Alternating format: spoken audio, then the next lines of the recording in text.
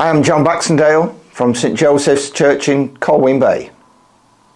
Today we reflect on the cruel servant, steward, and God's forgiveness and mercy. Today's Gospel is from Luke, chapter 16, verses 1 to 8. Jesus said to his disciples, There was a rich man, and he had a steward denounced to him for being wasteful with his property. He called for the man and said, What is this I hear about you? Draw me up an account of your stewardship, because you are not to be my steward any longer. Then the steward said to himself, Now that my master is taking the stewardship from me, what am I to do? Dig? I am not strong enough. Go begging? I should be too ashamed. Ah, I know what I will do to make sure that when I am dismissed from office, there will be some to welcome me into their homes. Then he called his master's debtors one by one. To the first he said, How much do you owe my master? One hundred measures of oil, was the reply. The steward said, Here, take your bond, sit down straight away and write fifty. To the other he said, And you, sir, how much do you owe? One hundred measures a week, was the reply. The steward said, Here, take your bond and write eighty. The master praised the dishonest steward for his astuteness. For the children of this world are more astute to deal with, with their own kind than are the children of light.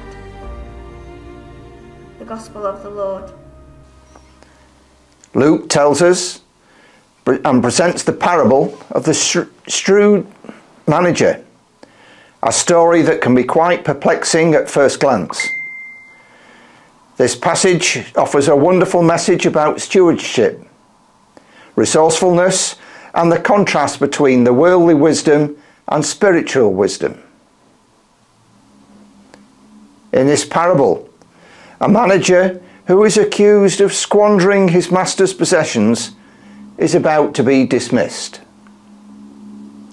Knowing he is soon to lose his job, the manager acts shrewdly by reducing the debts of his master's debtors, earning their favour in the hopes of securing future support for himself.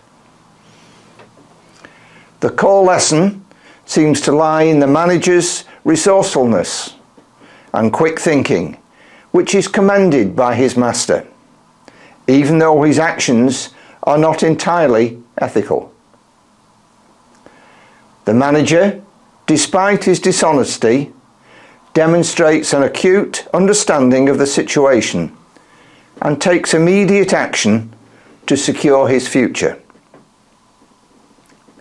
This shrewdness highlights the importance of being astute and forward thinking especially when faced with difficulties or uncertainties. However, the passage does not explicitly condone dishonesty. Instead, it serves as a lesson in contrast between worldly wisdom and the values of the kingdom of God. Jesus often uses parables to highlight deeper spiritual truths and in this instance, he emphasized the needs for believers to be wise and strategic in pursuing the kingdom as the worldly minded are in their pursuits. Furthermore, this passage challenges us to consider our values in handling worldly wealth. Jesus follows up this parable by emphasizing that people of faith should be faithful and trustworthy in handling worldly wealth, understanding the true riches are not found in material possessions, but in spiritual matters. The passage suggests that our handling of worldly wealth reflects our faithfulness in greater, more significant matters of the kingdom of God.